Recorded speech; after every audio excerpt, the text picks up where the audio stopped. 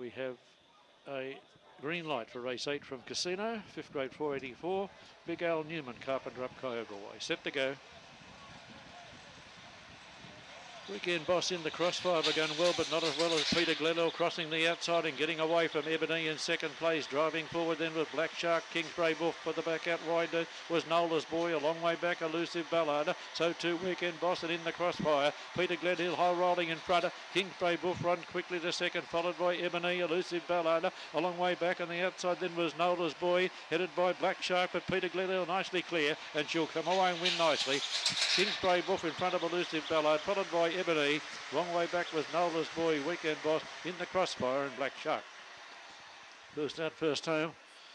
the way you like to see favourites win. Peter Goodhill.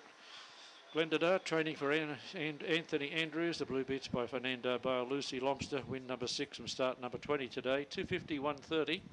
Kingsbury Wolf, his normal honest run here, 240 and Elusive Ballard at 240 also 8 6 and 4 27 5 3 a good run by the winner. 15 23 so 12 30 will be the middle split.